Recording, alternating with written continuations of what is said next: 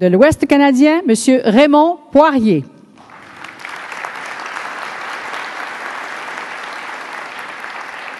Originaire du Manitoba, administrateur et homme d'affaires, Raymond Poirier se consacre depuis de nombreuses années à l'épanouissement et au développement de la communauté franco-manitobaine et de la francophonie canadienne.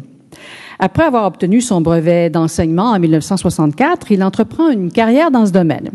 Il œuvre par la suite à la Société franco-manitobaine et en devient directeur général. À ce titre, il participe à la mise sur pied de la Fédération provinciale des comités de parents du Manitoba, de la Fédération de l'âge d'or du Manitoba et de la Fédération des communautés francophones et acadiennes du Canada.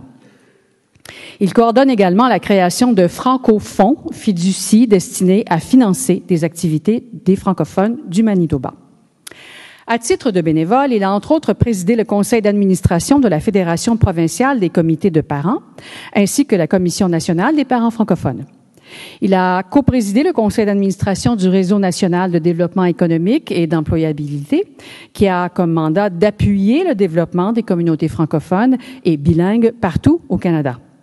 Il a aussi présidé pendant dix ans le conseil d'administration de la Maison des artistes visuels francophones du Manitoba.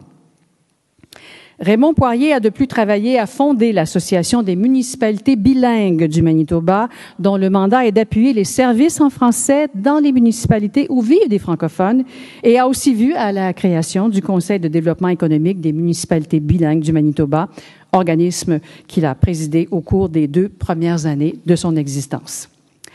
De 1998 à 2007, il a représenté le gouvernement du Canada au conseil d'administration de TV5 Québec, Canada. Et de 1999 à 2009, il a été consul honoraire de France pour le Manitoba. En 2002, il a été nommé au Conseil des corporations de la Couronne par le gouvernement manitobain et en a été le président jusqu'en 2013. Il a longtemps été propriétaire de la maison d'édition Apprentissage illimité, laquelle se spécialise dans la production de matériel éducatif pour l'apprentissage du français pour les jeunes francophones et francophiles au Canada et aux États-Unis. Son implication a été reconnue en 1999 à l'occasion du lancement de l'année de la francophonie canadienne, alors qu'il a été décoré de l'ordre de la Pléiade. En 2002, il a reçu la médaille du Jubilé de la Reine Élisabeth II et en 2006, le prix de la francophonie économique du Forum francophone des affaires. En 2003, il a été nommé membre de l'Ordre du Canada et en 2007, membre de l'Ordre national du mérite de la France. Enfin, Raymond Poirier a été investi en 2011 de l'Ordre du Manitoba, où il recevait en 2012 la médaille du Jubilé de diamant de la Reine Élisabeth II.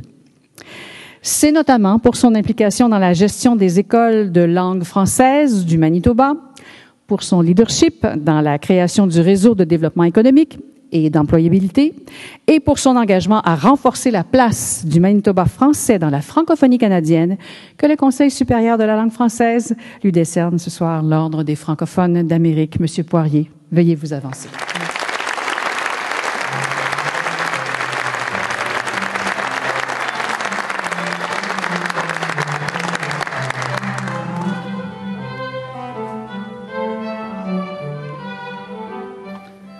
Madame la ministre, euh, Madame la conseillère municipale, Monsieur le président du Conseil supérieur de langue française, Mesdames et Messieurs, chers amis.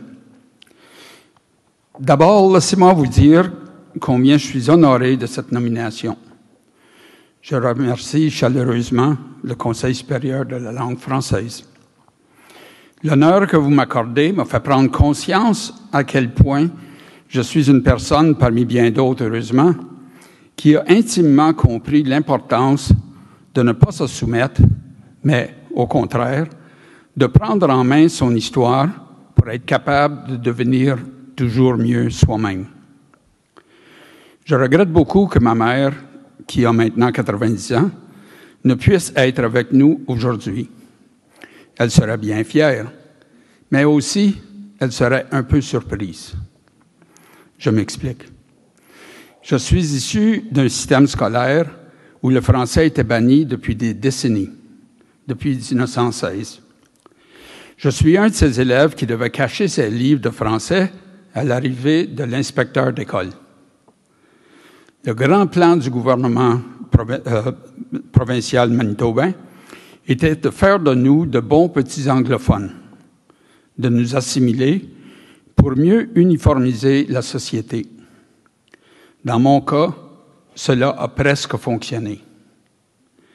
À l'adolescence, entre amis, nous communiquions en anglais.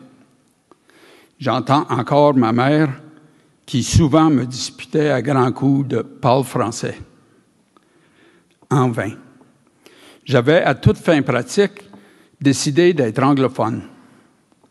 À tel point que lorsque nous nous sommes mariés, Cécile et moi, nous parlions anglais entre nous et avec presque tous nos amis. Nous trouvions cela chose normale. Le grain de sable dans la machine à m'uniformiser s'est manifesté à la naissance de notre premier enfant, une petite fille. Daniel nous a poussés à prendre une décision qui s'est avérée déterminante dans notre vie. Cécile et moi avions décidé dans quelle langue nous allions lui parler.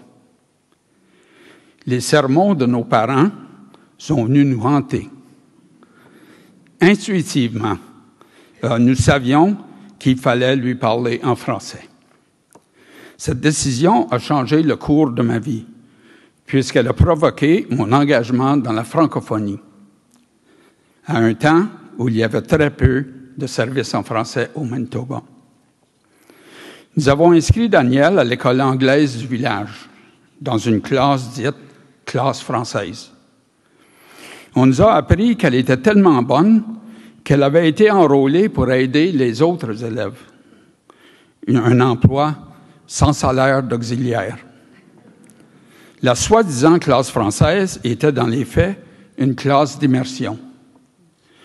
Nous avons alors travaillé avec des amis pour former un comité de parents dans notre village afin de nous fédérer avec d'autres parents francophones du Manitoba pour revendiquer des écoles françaises. On était au début des années 70 et les discussions au sujet du bilinguisme pouvaient être très animées. C'est dans ce contexte, en pleine effervescence sociale, que je me suis engagé dans divers mouvements de revendication au Manitoba et ensuite au niveau national. Nous voulions travailler à créer ce qu'on appelle aujourd'hui un espace francophone, essentiel afin d'entretenir un bilinguisme fonctionnel. Je suis fier aujourd'hui de pouvoir dire que nos quatre enfants ont fait leurs études dans des écoles françaises au Manitoba et à l'Université de Saint-Boniface. Nos dix petits-enfants fréquentent des écoles françaises. Pour eux, maîtriser l'anglais et le français est tout à fait normal. Ils ne considèrent ni l'anglais ni le français comme une langue seconde. Leur bilinguisme est pour eux une évidence. L'esprit d'ouverture dont ils font preuve est vécu comme une deuxième nature. De fait, l'un d'entre eux, Derek, le fils de Daniel, étudiant à l'Université de Saint-Boniface, a choisi l'espagnol comme majeur et le français comme mineur. Qui aurait cru pareil geste possible il y a 50 ans? Puis je rajoute que c'est ça malgré l'enfer que nous a fait subir le gouvernement conservateur de Sterling Lyon à la fin des années 70, un peu comme le gouvernement de Doug Ford essaye de faire avec les Franco-Ontariens. Je voudrais conclure mon témoignage sur cette conviction profonde.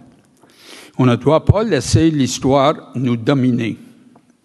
Par respect pour soi, par amour pour ses enfants, il devient essentiel à certains moments de refuser l'histoire qu'on essaie de nous imposer pour écrire la nôtre. Je vous remercie.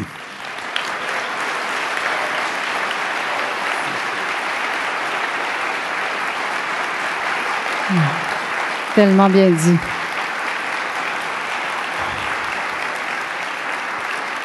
Merci aussi d'avoir partagé votre histoire avec nous parce que ça nous permettait de mesurer à quel point c'est une lutte au quotidien hein, quand on est en milieu minoritaire. C'est tous les jours dans la famille, dans la maison, dans le quartier, euh, dans les écoles, partout, partout.